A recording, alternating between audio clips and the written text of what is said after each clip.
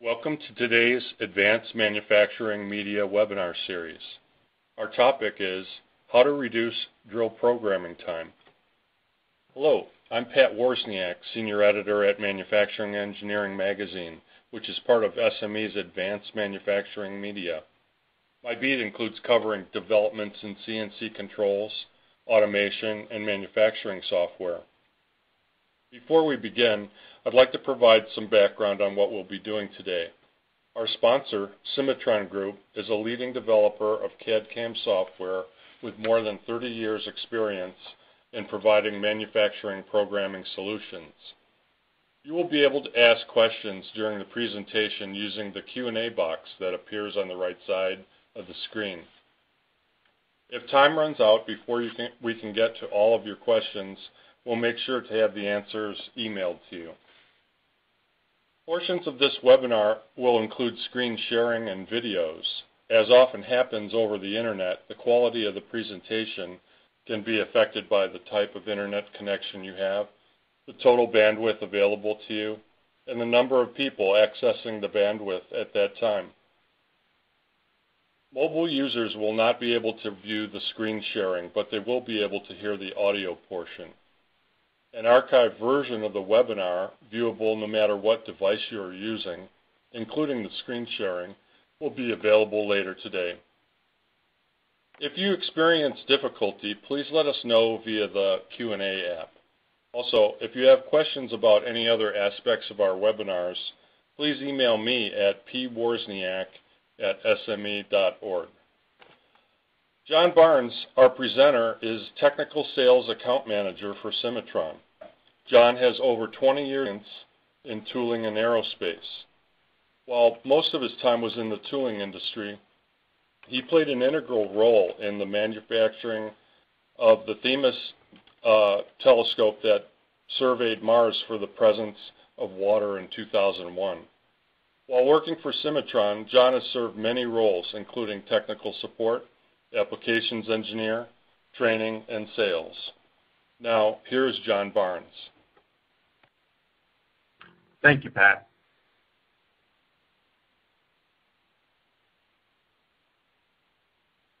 Uh, so today we're going to talk about advanced drilling tools and techniques, uh, automated NC drilling from 3-axis to 5-axis, automated gun drilling, uh, programming and output, how feature recognition can vary among different CAM systems, and the difference between automatic versus automated drilling.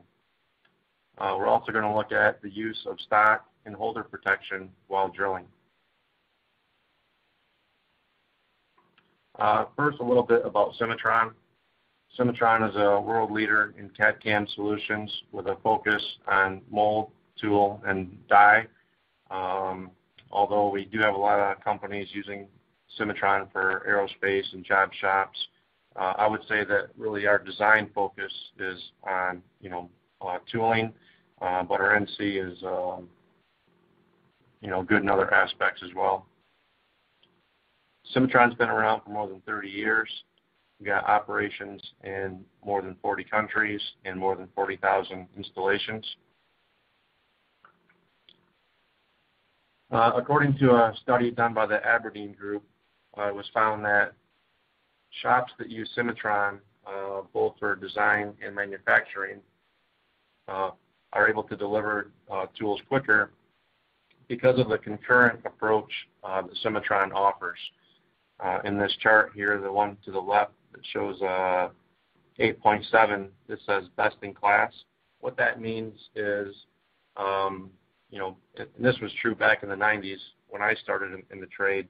Uh, companies would search out the best software for 2D design, then for surfacing, then for cutter pass. They would try to get the best uh, software for each of those departments, and uh, we call that best in class. Um, so even if a, a, shop has the best in class software, it's not really as good as having an integrated system uh, that's able to be associative and allow concurrent working.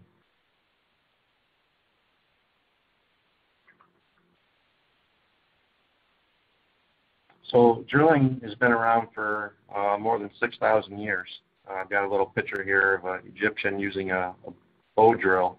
I thought that was pretty interesting. Uh, and metalworking has seen a lot of improvements. Uh, solid carbide drills really dramatically improve the efficiency, although they are expensive. Uh, we're going to look at how tool choice is very specific to the application and material. Uh, the technique is very critical, uh, both to the tool life and to the accuracy of the holes. Uh, not all solid carbide drills are the same. We're going to look at that a little bit. And I'm not claiming to be a tooling expert. Uh, I do recommend that you guys consult with your tooling vendors. Uh, we're going to go over a wide range of different tools, and I'll uh, explain things the best I can. Okay, on the first slide here, uh, these are some of the tools that I was researching for this project, and uh, some of these I found to be pretty interesting.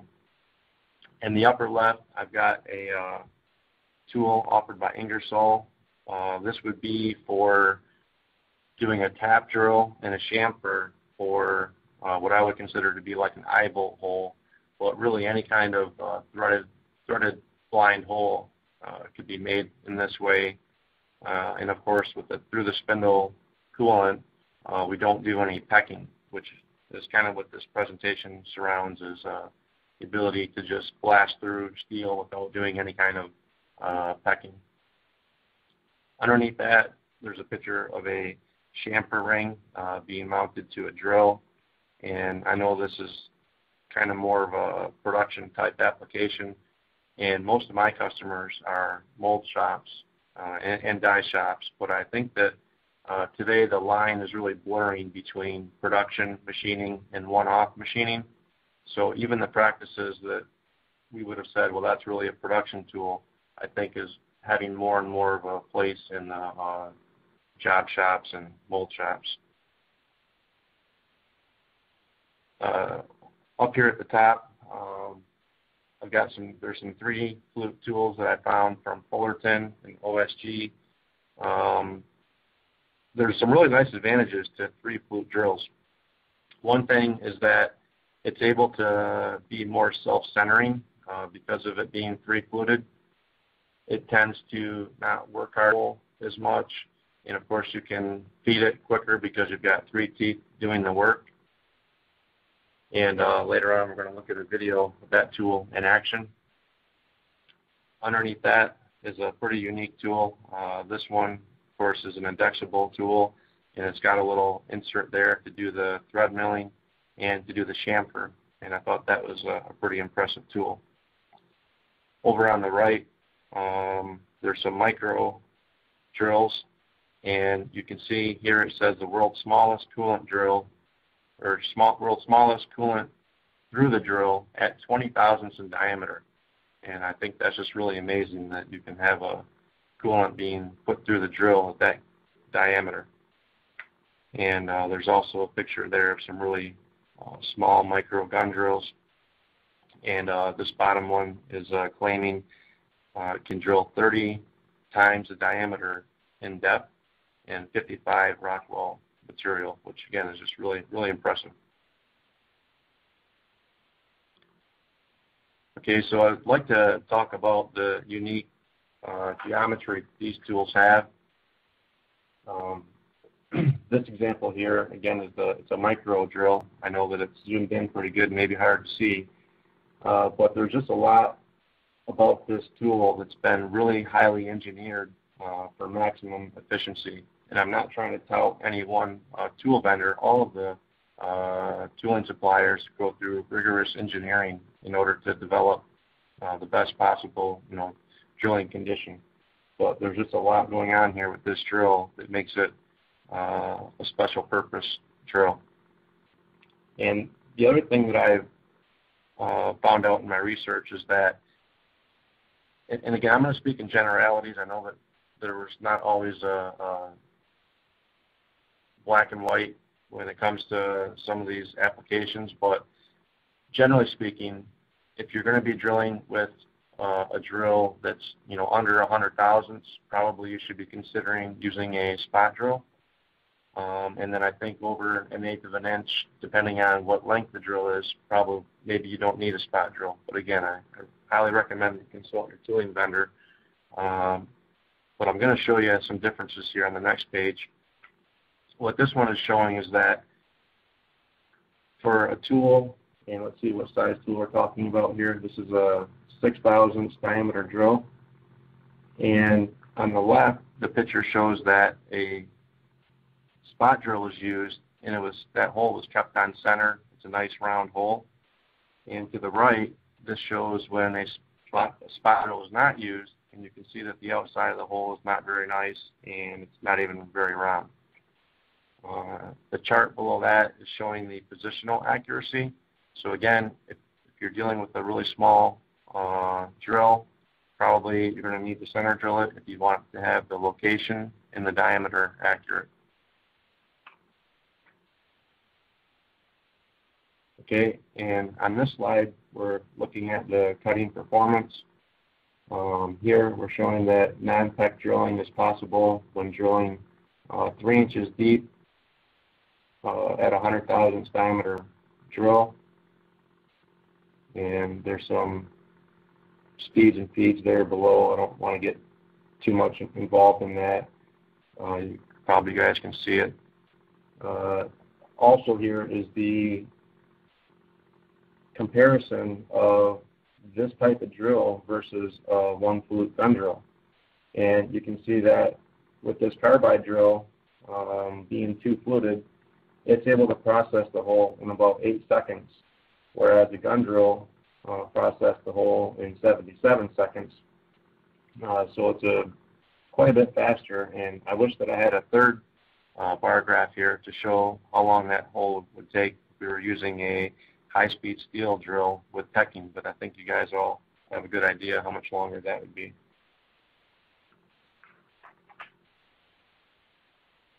Okay, next, uh, a lot of these tools are going to require a pilot hole in order to keep the tool engaged.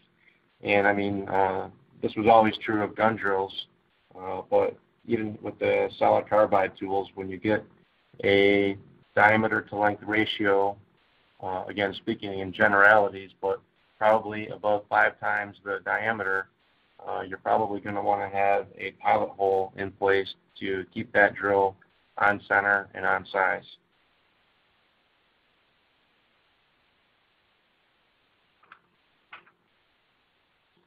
Uh, here we see a couple different geometries.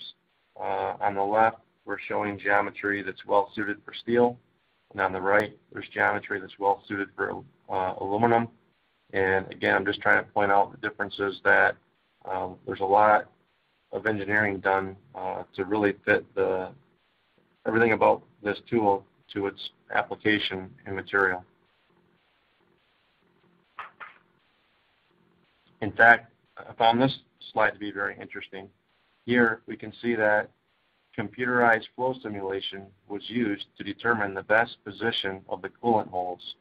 And in this particular drill, uh, there's two coolant holes per flute. And I believe the next slide is going to show us uh, if you can get the coolant holes positioned properly and get the lubrication uh, as it should be, then you'll uh, not be gumming up the drill as much with the aluminum. So again, a lot of engineering is uh, going into the design of these tools.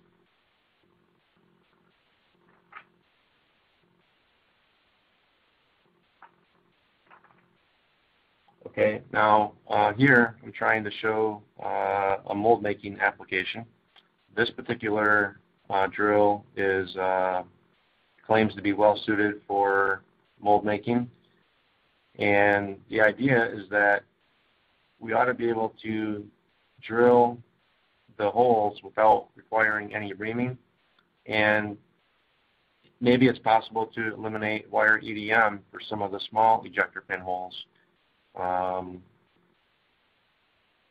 you know, surely each uh, application has its advantages and disadvantages, but the point is that uh, with the technology we have today in drilling, probably it's worth at least asking the question, uh, could we drill these rather than have them wire EDM?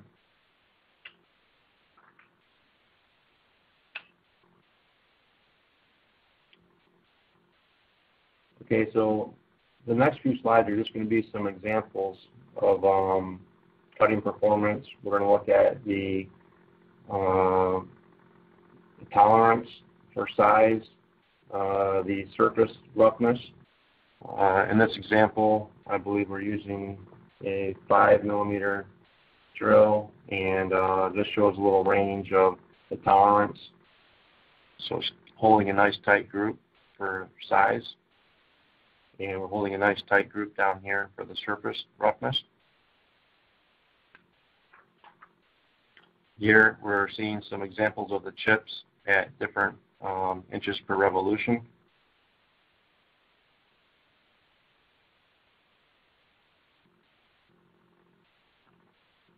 And over here you can kind of get a feel for what kind of RPM, feed rate, and uh, surface speed per minute that we're getting.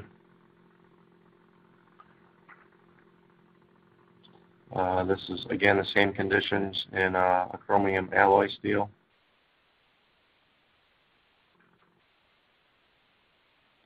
And here's one with a die cast mold steel of uh, 45 Rockwell.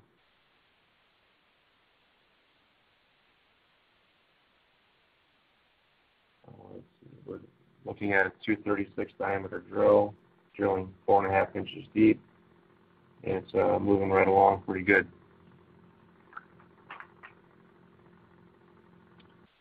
And here's a mold steel at 55 Rockwell. And uh, we can see that based on the number of holes, uh, what kind of wear we're getting versus a conventional drill.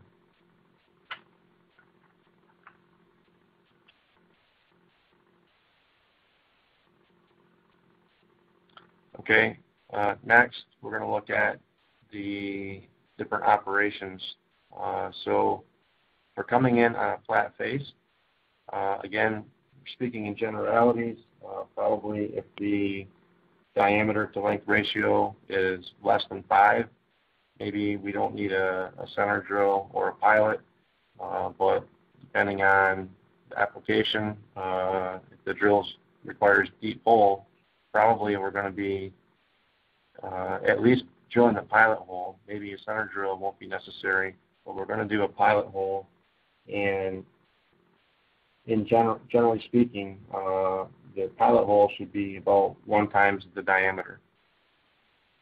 And then when we bring in the longer drill, uh, it's very important that the RPM uh, is not real high. We can't have the drill whipping around. So what we want to do is we want to slow the RPM down to a couple hundred RPMs enter the hole, uh, come down, feed down to maybe 50 thousandths away, and then turn the RPM up to full speed, and then drill continuously through the hole. And prior to breaking out, we want to slow down the feed rate, and then uh, we want to slow the RPM down as we come out of the hole. So, and then of course repeat this process. So this is going to require some unique settings uh, for programming because uh, canned cycles don't really handle this type of uh, operation.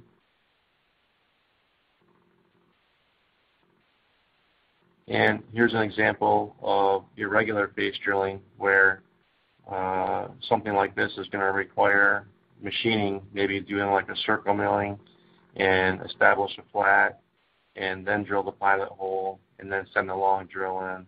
And same thing, slow down prior to breaking through.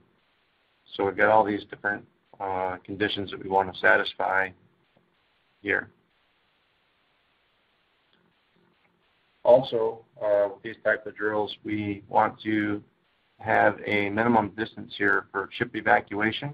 And they're saying that they want to have the diameter of the drill times 1.5 for a distance here to make sure that there's adequate chip evacuation possible. And over here we're showing interrupted cutting and we definitely want to slow the drill down uh, before it breaks out through this interrupted cut. And oh, at the example below, of course, that's going to require machining. We can't start a drill in that condition without uh, machining the hole. Uh, the third illustration here shows a step tool. When I see this, I think about uh, a counterbored water line, like in a mold application. And uh, I actually did run a boring mill for quite a few years uh, in my early 20s. And I remember that in a hole like this, probably I would have uh, drilled the water line first and then threw a big uh, high-speed steel drill in there and just chased that um, smaller diameter. Well, with the carbide drills, uh, we don't want to process it that way. We would actually want to process the large diameter first and then the uh, small diameter second. So the order is very important uh, when using these types of drills. And the, again, the last illustration is just saying that uh, we need to have the feed rate reduced prior to breaking out through the hole. So these are all very unique circumstances that require unique programming. And we're going to look at how Cimatron can address a lot of these unique situations.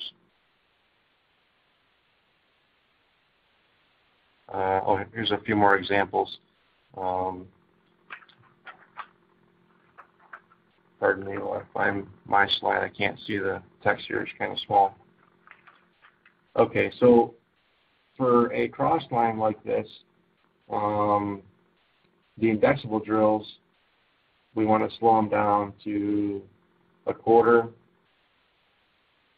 of the normal feed rate. Uh, solid carbide, we want to slow down to a quarter of the normal feed rate.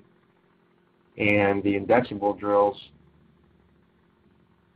or the, sorry, the exchangeable tip drills, uh, really aren't recommended for those type of cross holes unless the diameter is much bigger that it's crossing over. And here, of course, if you're trying to drill on an asymmetrical surface, uh, it's going to require machining like we discussed earlier. Although I think in this picture showing that if the uh, angle is enough to not obstruct the um, flute and the drill is stubby enough, probably you can get away with a situation like this. Um, again, it's very specific to the to the application.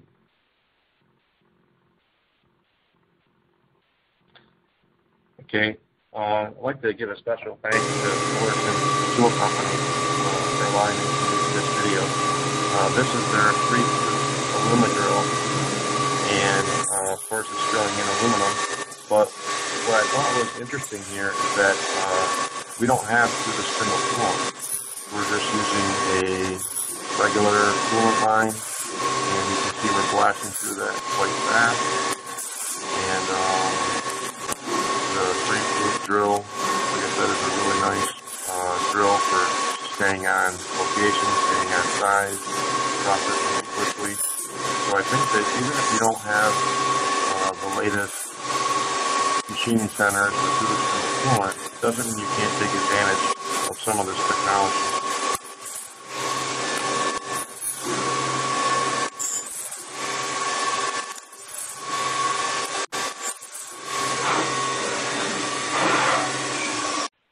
Okay, now let's uh, take a look at some of the software.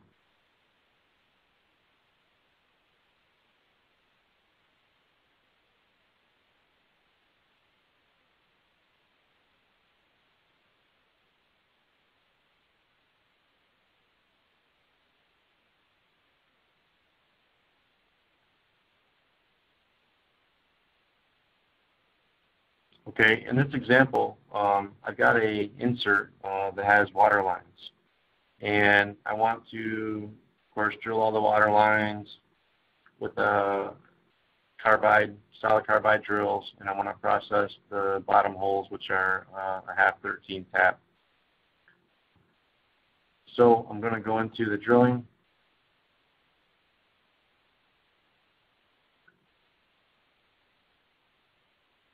and I'm going to choose automated drill 5X.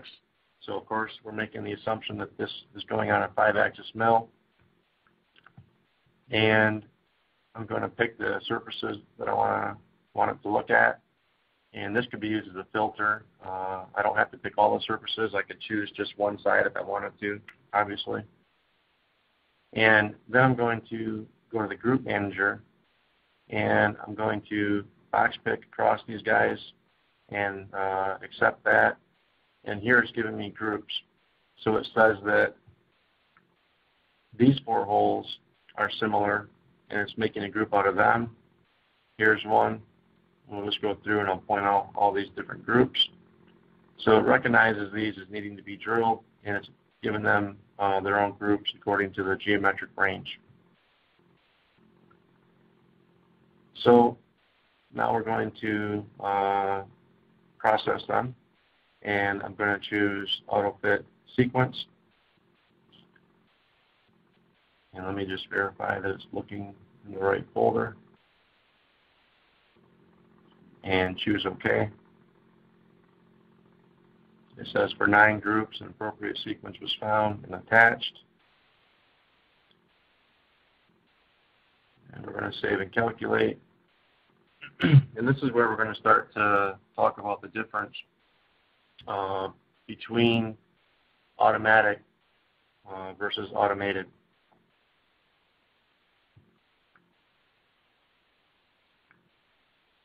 Actually, see, I put this in the wrong spot here. It should be below my stock model. I don't think it's going to affect me.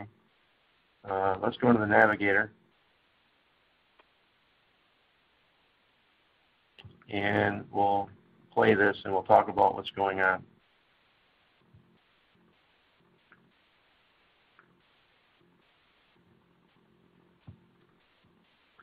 Okay, so this is a 422 diameter drill and I'm not doing any center center drilling. It's John, we a, need uh, to have you re reshare your screen. Excuse me. Can you can you hit you. refresh on your screen share? Thank you. Yeah. Are you seeing seeing it now?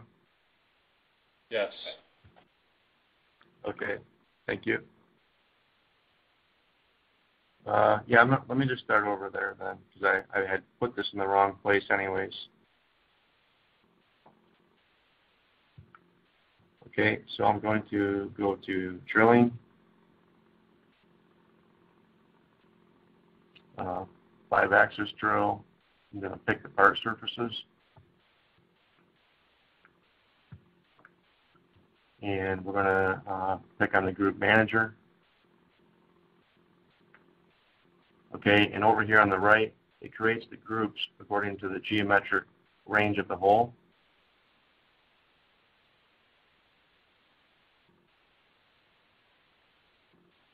Okay, and then I want to process those. So I do auto fit sequence. It tells me that it found nine uh, sequences for nine groups.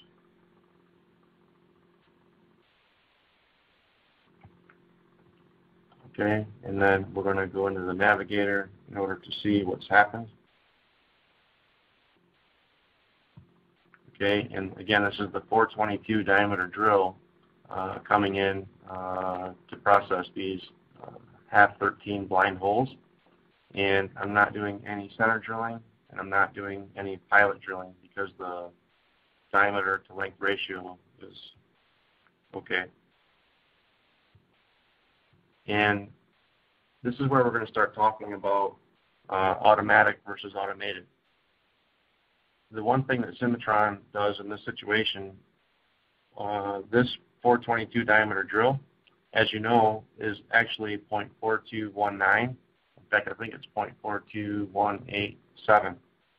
And so if you import this geometry through STEP or IGES, uh, it might be 421 or 422 or 421 and 9 tenths. So we can set a range and we say whenever you encounter a hole from 421 to 422, this is how we want to process that hole. So it's not automatic programming where it has to fit the exact diameter and this has to be processed this exact way. It's more like we define a geometric range and we say this is the process that we want to use based on it fitting within this range of geometry. Now these water lines I am processing with a, uh, a starter drill, but it's really because, well, it's for two reasons. Number one, I want to have a big chamfer lead in on these holes. Uh, I think that's an advantage. And secondly, you're going to see some logic being used here in a minute. Uh, this is the tap drill coming in and tapping these holes. But in a second, you're going to see that not all these holes are drilled in the same way. Even though I use the same sequence, the sequence can have logic built into it, and I'll explain that in just a second.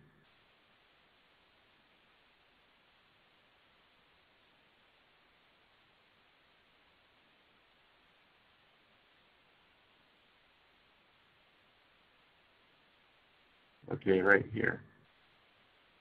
So I believe this is a 438 drill with a length to diameter ratio of 5. And with this hole, it's going down all the way because it can reach. And this hole is going to go down all the way because it can reach.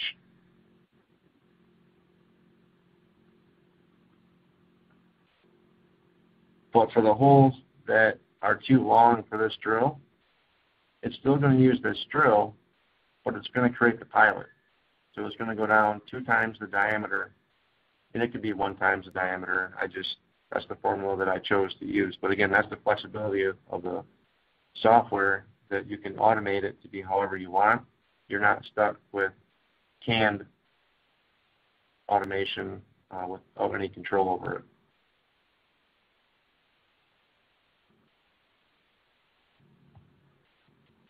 Okay, so this drill is going to go in and it's going to either drill the hole completely or it's going to at least give me a pilot depth for a longer drill. And you probably noticed that the software is optimizing the order of the drills. Uh, when it had the center drill and the spindle, it went in and center drilled everything. And now that it has the 438 uh, tool with a five times length ratio, it's using that drill everywhere that it needs to be used and not wearing out the tool changer going through all the processes. Okay, so this one's almost done. Then you're going to see it use a longer drill. So this depth has logic in what tool it selects, and I'll explain that and show it in a minute a little bit better. But it's making these decisions for me based on what I told it I had available to the software.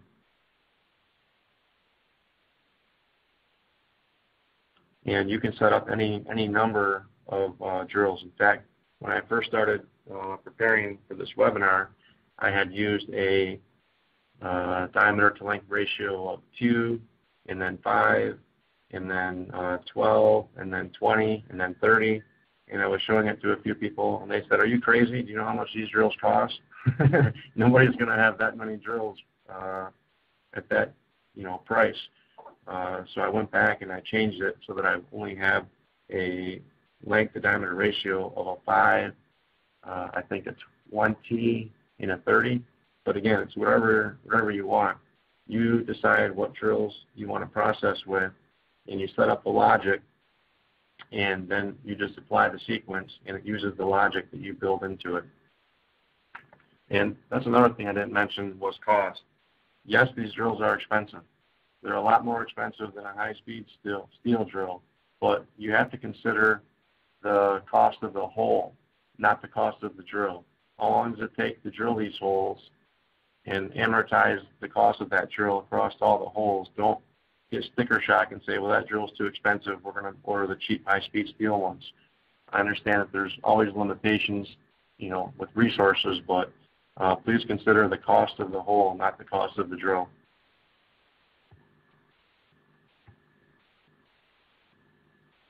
Okay, so let's go into this one, and I want to explain a little bit better uh, what kind of logic I set up. Uh, let's take this long drill, for instance. Oh, sorry, the long hole. I'm going to choose Modify Sequence so that you can see how I built it. So first of all, over here on the left, this is our geometric data. This all refers to the hole.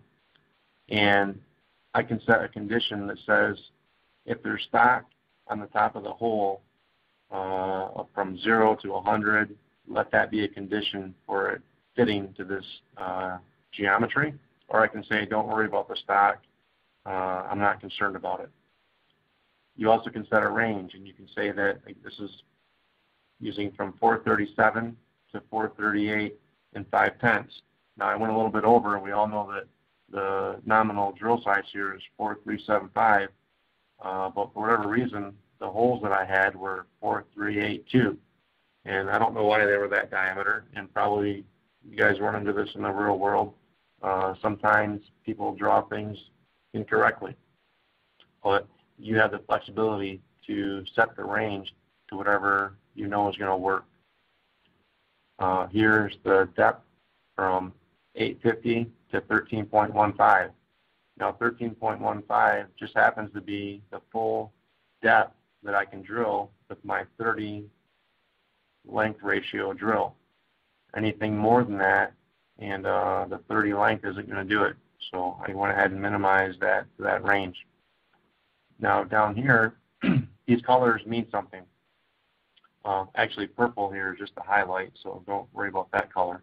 But the red means that this one's not being used. So let me explain what the process is here. I'm using a three-quarter starter drill, and I can set, I can show you the top by clicking here, and I can show you the bottom by clicking here. And the bottom is just uh, driven by parameters. So my bottom reference is DP. Of course, I've got a list here of what parameters I want to look at, and DP simply means the top of the hole. And I can even set a chamfer diameter to where I want to have a 562 chamfer on that 438 water line. I don't know what that depth is, and I don't care. What I care about is having a chamfer of 562 on that hole. Next is the 438 times 5 uh, length ratio. And what this one says is drill, okay, the bottom reference is DP, which is still the top, and I'm saying let's drill two times the tool diameter. Okay, it's a, it's a formula. Uh, but I put a condition in here that says only allow this to happen if the hole depth is more than 2.2 in length. What's our hole length? We can look up here and we can see it. It is 11 inches. Okay, so if the hole were uh, more than 2.2 inches, then I want to do the pilot, the uh, pilot drill. And then each one of these has a range. So this tool with a, um, well, this one's also a five length ratio. And the reason is because it may be possible that I can finish the hole with that drill. So if that's the case, I want to go ahead and finish the hole. That's what this line says. And then this one, of course, is the 15 length ratio, and here's the 30 length ratio. So I set up these conditions, I define a range this tool would be appropriate for, and then it just processes, it looks at the ranges, matches it to the conditions, and it programs the holes automatically. And it really works nice.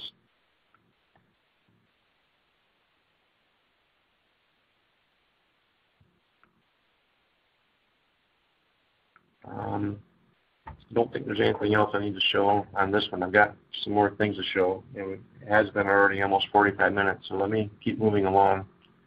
I'm going to close this one out. Uh, we don't need to save it. And I'm going to open another example. Uh, this one I think is pretty interesting.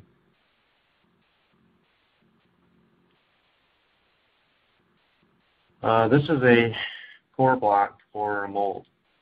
And I went, in, went ahead and did all the processing of the backside holes. Um, I don't want to go through all this again uh, for sake of time, but I processed the holes from the backside.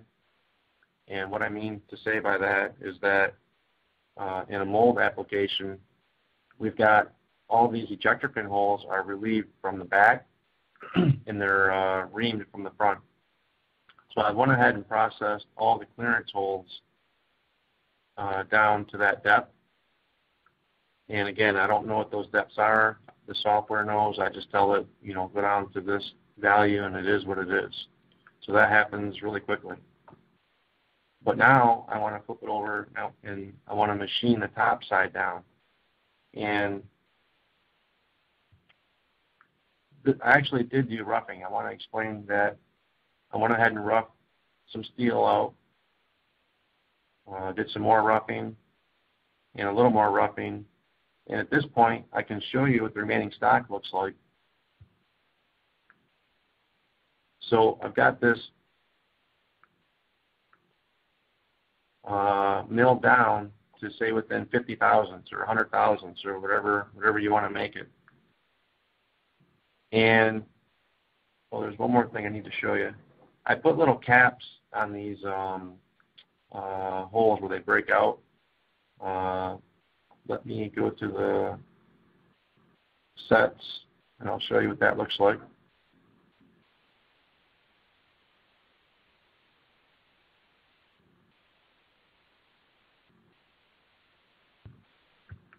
Okay, so I just I put little um, what I did is I created a bounded surface uh, down here and I copied it up here. It happened pretty quickly. And the reason I wanted that is so that I would get a nice flat area to circle mill on. So here I'm going to show again how I set up logic and I said that if you have a breach condition, I want to do circle milling down to the top of the hole. And if you don't have a breach condition, or if that breach condition is say less than 50 thousandths, then don't circle mill it. So one sequence is either it's either going to drill this hole and circle mill it first, and it's all dependent upon conditions and logic. So let me go back and we'll process it and I'll show you the result.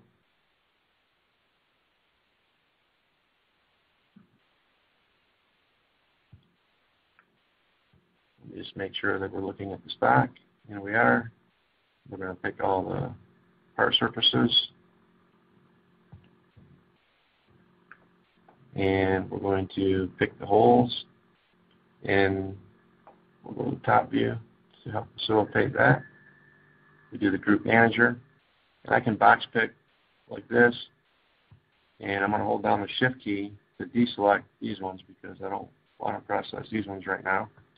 And again, I accept that. Over here, it builds all my groups. And we're just going to go ahead and do the auto fit sequence. Let me make sure I'm pointing to the right folder. And I am.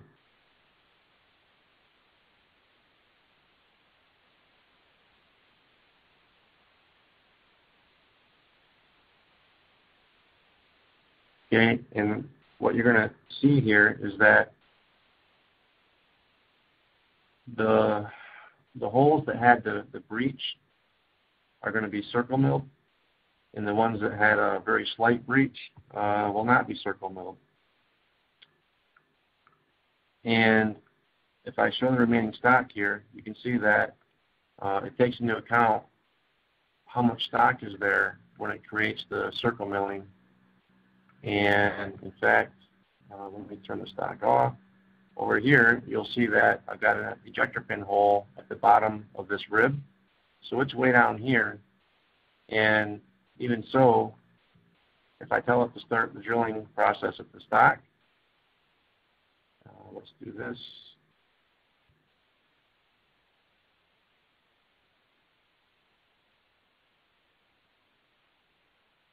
Uh, Oops. Okay, so the top of the hole is here, but it knows to start at the stock and it starts up here. Same thing with the circle milling. You can see how I left that little flat there.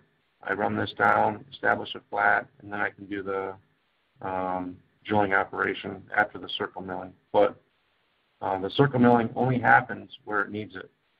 Over here, that, this is the same hole, and I didn't get any circle milling because it was flat enough in the condition that I gave it. So there's a lot of logic uh, being done here. And again, I can have it uh, look at the length. I can have it use different length drills. However you can dream of processing something, you can build logic into these sequences and make it happen.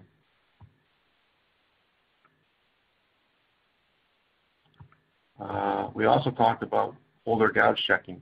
Uh, so let me real quickly open up another file and we'll look at holder gouge checking.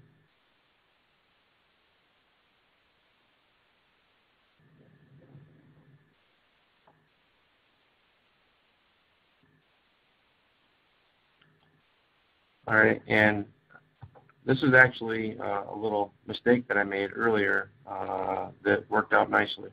Let me show you how I screwed up. We define a part, target part, and we say this is what the job is supposed to come off the mill looking like at the end of the day. And I accidentally grabbed one of my cap surfaces as my target part. Everybody can probably see that. This little guy is tagged, and I'm about to violate it here. It's going to be a real problem. All right, so I'm going to go ahead and execute this. And we should get an error message. Um, and actually, there's going to be two error messages. This one may not be a problem now. It'll be a problem later when I when I verify it. But I know I'm going to have an issue where the uh, 1/8 drill uh, was it was not able to process this hole. Okay, I get this little interrupted symbol here. That interrupted symbol tells me to come down here and look for what's wrong. Excuse me. Down here, I know that it tells me that uh, one of my drills doesn't have an adequate clear length Uh, right here. I don't know how well you guys can see this, but it says my carbide drill 1/8 times 5 should be greater than 1.7536. So let's go into my cutter list and let's look at my 1/8 times 5. Let's sort by diameter. Here's the 1/8 times 5, and currently my clear length is inch and 5 eighths. So yes, it's not long enough. Let's make it 1.8 and say OK, and we'll reprocess it.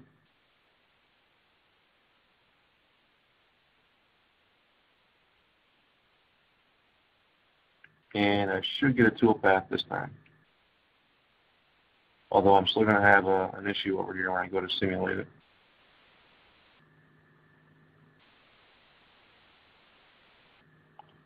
Okay, good. You got a toolpath. Again, you can see all the circle millings taking place.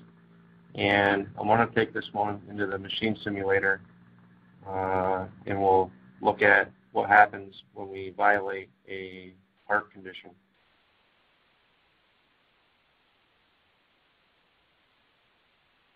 All right, and let's see, we're going to use a machine. We'll just use a Haas. Uh, we're using the appropriate reference UCS. Uh, let's go ahead and say OK. Now, I do know that I get another little message here about the y-axis being over-traveled. Uh, I think it has to do with the tool change position, which I think is a little bit carried away uh, in the simulation. You actually see it go back to the tool change position. Well, what's interesting is that we're going to see the, the tool light up in red when it comes into contact with our part surface, so we know that we're having a, uh, a gouge condition. Now, it's not really a gouge condition. It's because I screwed up and uh, picked the wrong surface as part of the part surfaces, but it's a, it's a good little insurance policy. All right, let's get some of these windows out of my way. And we don't need to see the uh, housing of the machine. And let's hit play. Okay, here it gives me a little message about exceeding the y-axis. That's okay.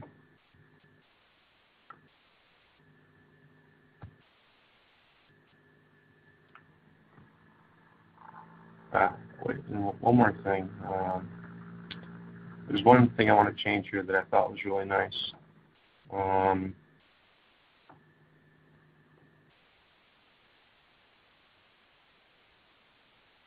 I want to set the, the um, color to be unique for each tool because it really shows nicely where the circle milling left off, where the center drilling leaves off, the pilot drills, the uh, full depth drills. It really helps to illustrate everything really nice.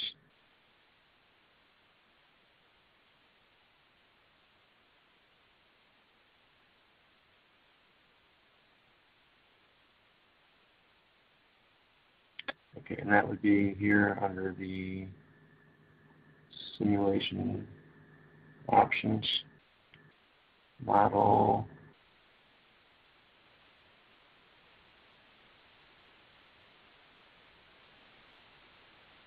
uh, there's a simulation display, not that one.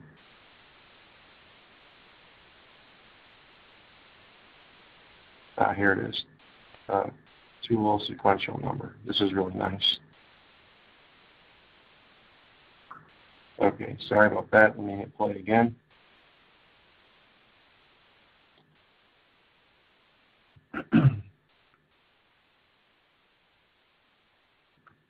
oh, slow.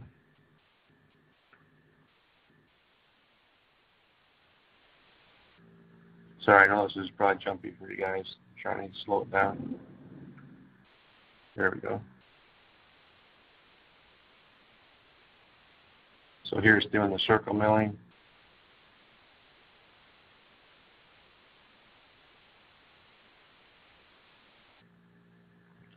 And we're going to see that red light up on the tool here pretty soon. See it?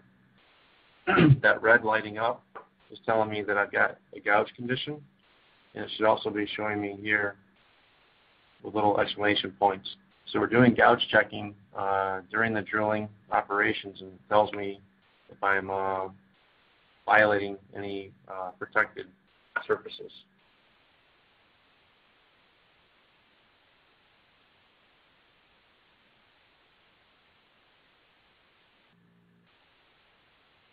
It's almost done. In fact, this is the center drilling. See how I just punched a hole in there? Center drill, no spot drill required.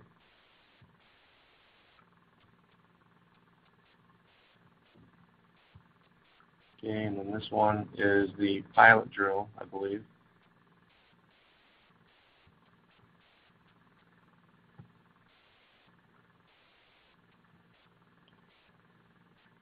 There's the red tool lighting up saying, hey, you bumped into something.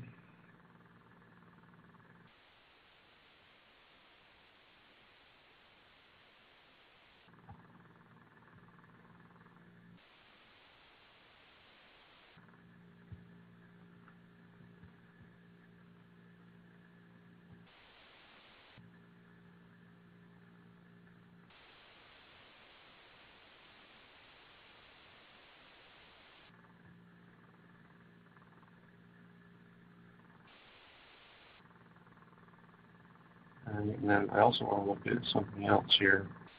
Uh, it's just about done. I think when this finishes up, we can see the last couple lines of code, and uh, we can see where it actually reduced the feed rate prior to breaking out of the hole. Remember, the clearance holes were drilled from the back side, and now we're doing the ream hole from the top side, so we're going to be breaking out into the clearance hole and you're going to see that in the code here where it slows down the feed rate.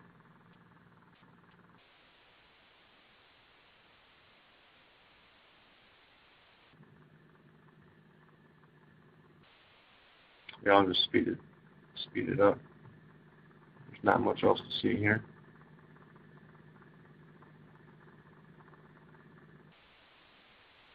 Okay, I think right here.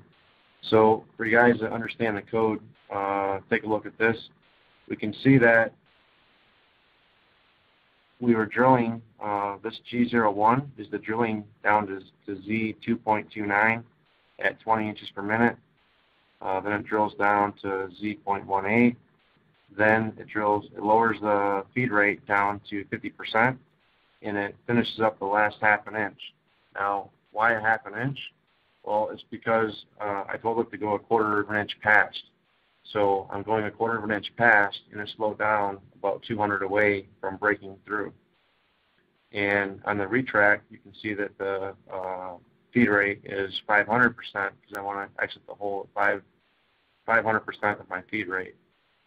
Uh, I don't see the spindle changing here, but that's just a matter of the post uh, having it uh, pass to the post processor, but trust me, it works. Okay, um, that's about all I really have to show on the software. Uh, let me go back to the slide presentation here.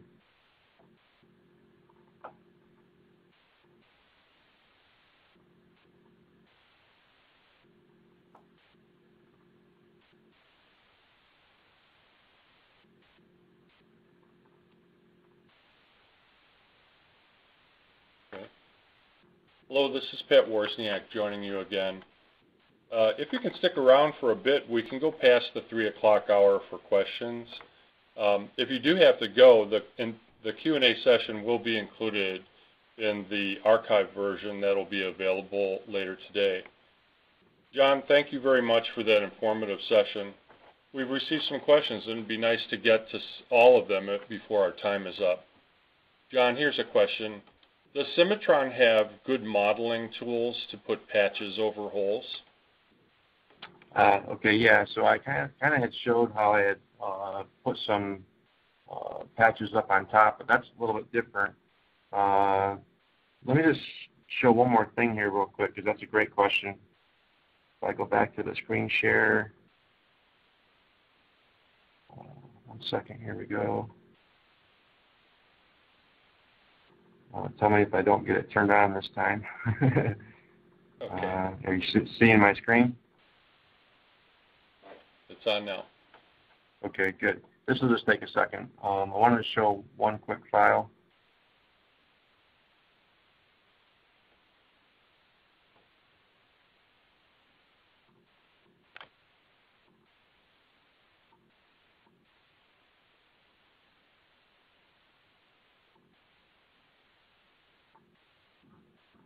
So here's an actual block uh, that would require some patching to be put on. And uh, the whole model is here. I've got this, the top skin kind of isolated. Uh, I can show you that all the surfaces are really there. I've just got it uh, hidden is all. And uh, with Cimatron, it's a little bit unique of a software. Uh, I can actually delete one of these surfaces.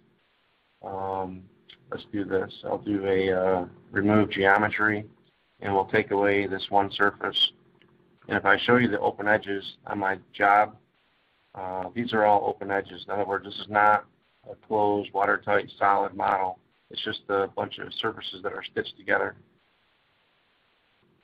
And even so, in fact, let me just point this one out real quick. This one, if I want to put a patch on, wouldn't just be a matter of, you know, doing a chain around there and making a flat surface. There's a little bit to be done here. And if I told you that the webinar wasn't going to end until all these surfaces were patched, uh, guys would probably start exiting quickly. but uh, watch this. I'm going to go to the top view and go to faces, close open gaps, and pick all this stuff. And I can do new faces uh, or same faces, uh, same faces. And I'm going to close up all these holes in uh, one operation.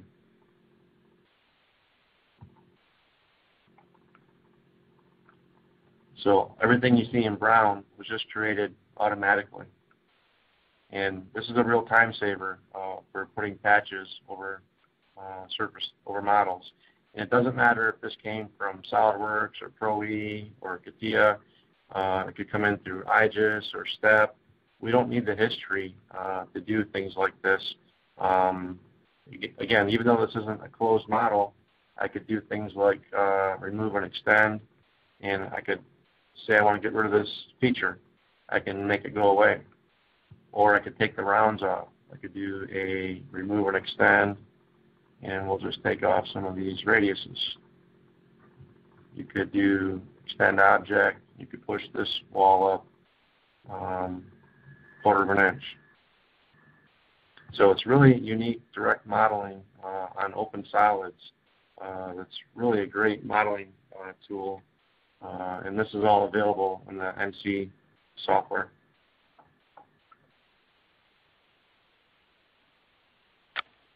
John, here's another question. Are there design wizards that implement the cooling circuits? Yeah, uh, I mentioned earlier that Cimatron uh, really is kind of more well known for being uh, a good design software for molds and dies. Uh, we've got a really good wizard uh, for mold design, uh, which allows you to facilitate putting in ejector pins and cooling wizards, but it's not just for mold design. Um, there's a lot of wizards that really help with any kind of tooling application.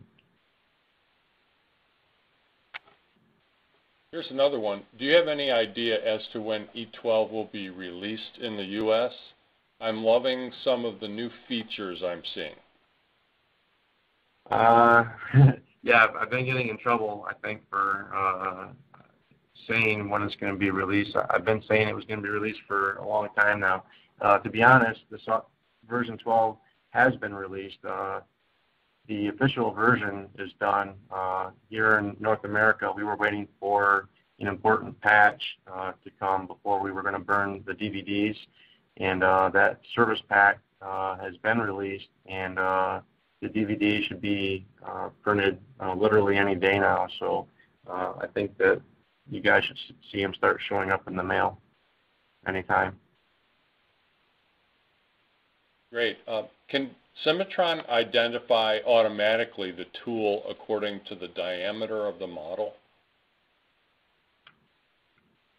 Uh, not really. I would say that that's kind of more automatic programming versus automated programming. Um, we don't we don't want to pick the, the tool based on the diameter of the model. Um, that that becomes a little bit more automatic programming. Uh, I prefer to automate the other way around. I don't know if that makes sense or not, but uh, no, we don't we don't create the drill based on the hole. We we match a drill with the geometric range of the hole and allow them to come together, you know, appropriately. Okay, John, we have time for about one more question. Uh, what else is new in Cimatron E12 for NC? Um, well, one thing I'm really excited about is our new stock model. Uh, in version 11, we had a two stock models. One was for faster calculation, and one was for higher accuracy. We have a lot of customers that use Cimatron for micromilling, and they needed a really super precise stock model. And we have companies that create big bumper fascia molds, and uh, they don't need such a, a accurate stock model. So we had one that was really quick at calculating, but wasn't super accurate. And we had one that was super accurate, but wasn't quite so quick at calculating. And now in version 12, we have just one stock model that's good at both, and uh, the quality is really amazing. Um, it's I'm really excited about how great this new stock model is.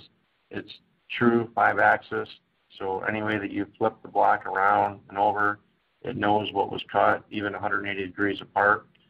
Uh, so I guess for me, that's the really most important thing.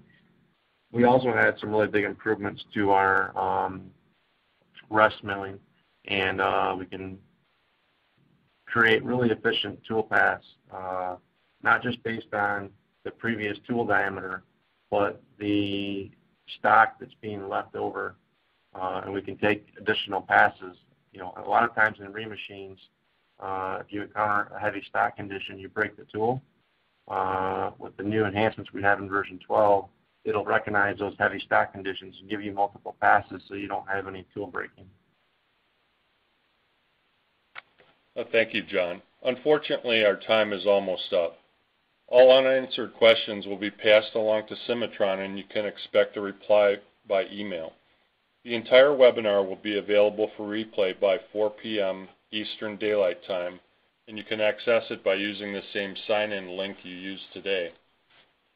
As John has shown, manufacturers can achieve great process improvements on the shop floor with ad advanced drilling techniques and the latest CAD-CAM automated programming solutions. SME and Advanced Manufacturing Media have a host of ways to keep in touch with the latest developments in software and manufacturing technology. For instance, our Motorized Vehicle Manufacturing Yearbook 2014 will be published in November. Our December issue of Manufacturing Engineering will include a feature article on CAD-CAM software for mold and die manufacturing. In addition, join us at FabTech 2014 on November 11th through 13th in Atlanta, where you can experience live equipment demonstrations and find cost-saving solutions. Thank you for joining us for this Advanced Manufacturing Media webinar. We hope you found it informative.